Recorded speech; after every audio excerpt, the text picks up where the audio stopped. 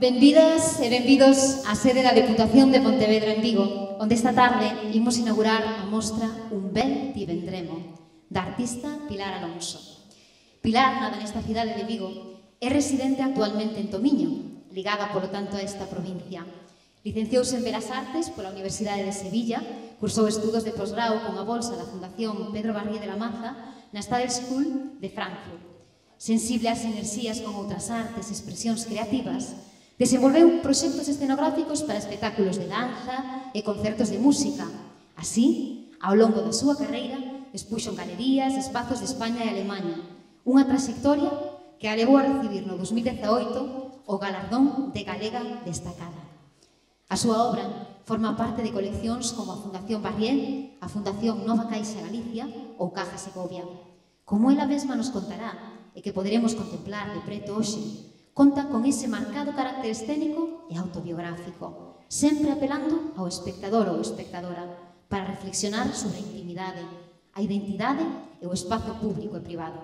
Hoxe mergullaremos na súa instalación e formaremos parte dela, da artista máis da obra, tal como a propia Pilar percibe, uns dentro de outros. Sen máis, ten a palabra a artista Pilar Alonso.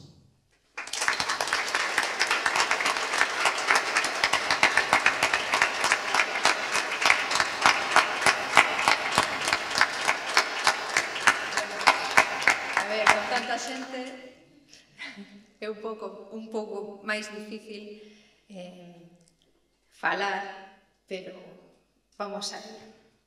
En primeiro lugar, gracias a todos por vir, gracias á presidenta, á diputada, á miña alcaldesa, que foi unha sorpresa, por estardes aquí. Eh, dar gracias á Diputación eh, por esta eh, exposición, por invitarme a, a desenvolver este proxecto aquí. Eh, tamén eh, decir que eh, estaba lle dicindo a presidenta que ten un equipo magnífico, tanto a nivel profesional como técnico como humano, eh, é unha xente especial coa que traballamos. Eh, os que me coñecedes sabedes que, que me encantan as historias. Isto eh, é porque de pequena eh, gustaban moitísimo os contos e gustábame que me contaran contos distintos. Quizá por eso a miña obra tamén é narrativa e tamén conta cousas. Normalmente o que, co o, o que conto é mm, autobiográfico ficcionado. Eh, o conto como se fose eh, as historias como se fose unha matriosca unha historia dentro de outra e dentro de outra, pero sempre hai unha estrutura que se repite. Entón, a historia que vos conto hoxe empeza eh, sempre desde o particular hasta o universal, non? A que, os, a que vos vou contar hoxe empeza eh, nun xardín. No primeiro xardín que coñezo que é o do balcón da miña casa, que vivía na travesía de Vigo, nun octavo, Entón a miña nai tiña cactus ali. Eh, era como unha pequena Rapunzel que desde aquela torre vía como medraba a, a miña rúa, que primeiro era casi todo campo, e xardíns e hortas, e como eh, aparecían trozos de, de edificios que iban facendo a rúa. Pero eses xardíns seguían ali ocultos. Eh, cando iba a ver as miñas aboas, elas tiñan eses xardíns aínda na parte rural. Despois eh, deso, acabei vivindo en Tomiño. Eh, nun principio eh, parecía que non, o sea, non decidín ir vivir ali. Pero hoxe penso que que en certo modo Tomiño me elixiu a min, porque eses xardíns ocultos Tamén existen ali. Ali existe o xardín oculto máis grande que coñezo. É que eh, cando colles a estrada que vai a, a garda, a man esquerda, pegado ao río, eh, nun paisaxe precioso, cheo de bosques de ribeira, eh, de prados cheos de malas ervas preciosas tamén, as hortas teñen rododendros, e teñen azaleas, eh, e teñen liquidámbares porque esa planta se produce ali. Entón, outra vez, como unha matriosca, ese xardín que representa a miña intimidade, o meu mundo creativo no que eu medrei, está tamén presente onde eu vivo.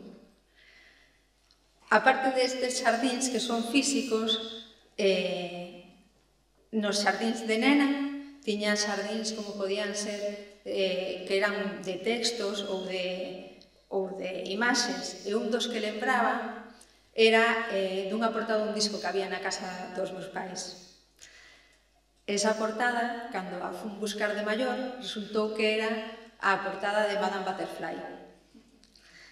Eh, a portada era unha muller agochada co seu habano eh, nun xardín todo rosado, non sabía o que era, non, non lembraba. Cando vin eran pois, desas árbores que se producen ali, en Tomiño, que son os, os magnolios chinos, era preciosa a imaxe.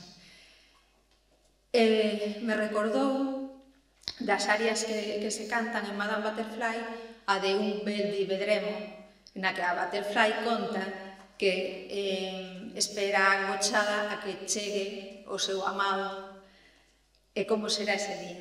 Entón empeza así, un bello día veremos, E pensei eu si en vez de eh, esperar ver a Pinkerton eh, porque non vela a ela que é a que está agochada no xardín.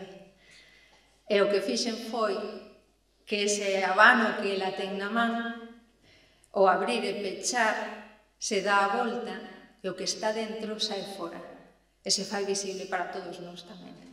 Entón, o que vemos ao final é a ela, e o que vemos ao final son eu que está en ese xardín, pero xa non é xardín, xa está para fora.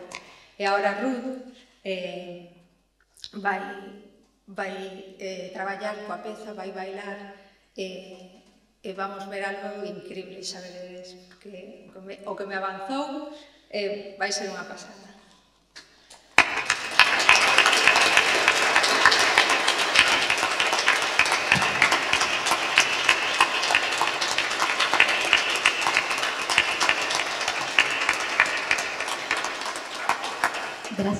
Grazas, Pilar.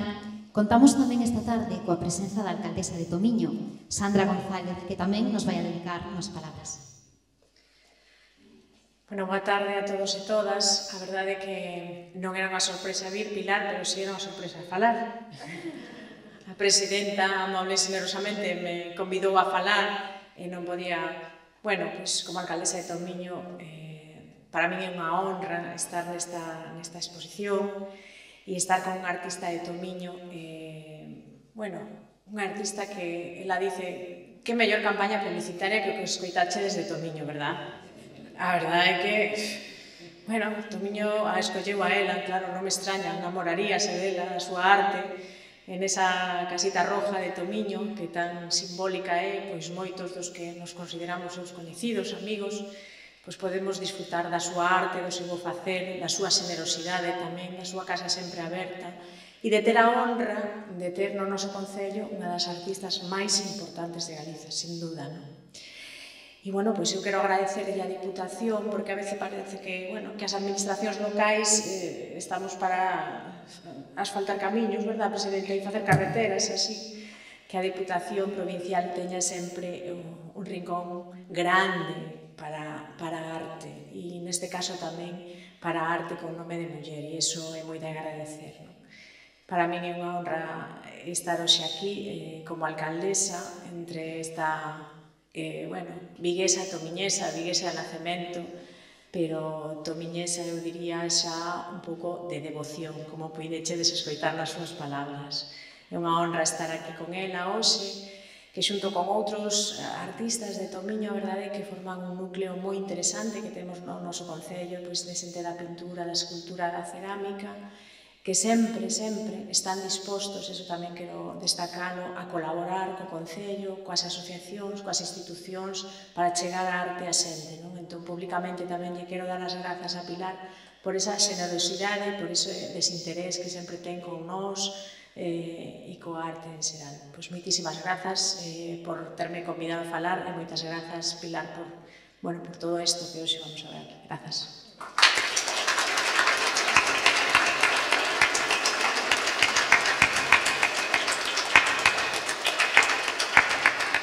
A continuación ten a palabra a nosa presidenta da Deputación, Carmela Silva. Bueno, boa tarde. Despois de escoitar a Pilar Alonso, a verdade é que é difícil non poder expresar algo que a lo menos poda aportar o que eu sinto neste momento, costame, non? Porque realmente o relato que fixo podería ser o inicio dun fermoso libro, porque realmente contounos unha historia. Unha historia que conta como ela, unha muller nada en Vigo, amante de Tomiño, eu alcaldesa sabes que o entendo perfectamente, porque durante 15 anos eu tamén, Pilar, pois pasei a metade do ano nun camping no Estaque Dorado do Tomiño, ali, casi naceu meu fillo que choraba moito, todo o mundo marchaba de cara a nós, e entón tiñamos unha parcela enorme onde pois el aprendeu a importancia de vivir a carón da natureza, non? de descubrir como formamos parte desa natureza, canto nos aporta esa natureza, non? e como construímos o sardín propio da nosa vida, se si somos capaces de ter capacidade de observar, de ver, de convivir, de respetar, de, de aprender, non? E hoxe, pois, é un gran día para a Deputación de Pontevedra. Eu coñecín a obra de Pilar Alonso na primeira vez que fixemos eh, o programa de arte mural en Vigo. E ela fixo un mural moi fermoso que está na Avenida de Fragoso, que ademais ali tamén vivín moito tempo eh, na casa dos meus pais e ali está, non, aquel e me pareceu impactante aquel mural, non? me parecía que realmente era un mural que falaba, non? Eh, a arte ten que falar da xente, a cada un lle conta unha cousa. A min aquel mural contábame moitas cousas e logo, pois, a fun seguindo. Tivemos a maravillosa idea Cando creamos o premio Mulleres no Foco, que premia as cineastas galegas, de que fora ela tamén quen diseñara o premio. É de verdade, é unha envidia de premio. Cada unha e cada un de vos quereríades ser mulleres cineastas para que vos poderan entregar ese maravilloso premio que é unha verdadeira obra de arte. Pilar Alonso É unha das grandes artistas de Galicia, sin dúbida, o decía a alcaldesa de Tomiño, sí, oi. É unha muller con unha enorme sensibilidade, é unha muller que fala con voz de muller a través da súa arte. E todos vos quedaredes prendados desta obra, pero nós, as mulleres, seguramente a entendemos moito, porque nacemos, vivimos e crecemos no mundo desa intimidade que queremos preservar e que tantas veces é atacada polo feito tamén de ser mulleres, ademais de outros moitos ataques á intimidade que estamos vivindo neste mundo onde todo ten que estar publicitado, non? E a veces, ademais, de formas pouco humanas. Así que ela creou este xardín, ademais, pois é un luxo, o creou para esta exposición. O sea que isto o creou para ti. Que máis se pode pedir? Estamos infinitamente agradecidas e orgullosas de que a súa obra este aquí. Ose, Maruja Mayo, que así se chama esta sala, estaría feliz, Pilar, de que ti estiveras facendo aquí esta exposición. Non teño ningunha dúbida, porque tantas non? son herdeiras daquela gran artista que tamén rachou con tantas cousas que había que facer explosionar. E, ademais, pois hoxe vai a ser unha exposición diferente, moi emocionante, non? porque vamos a poder desfrutar, como vos decía Pilar, de Ruth Balbís, non? interactuando con toda esta obra.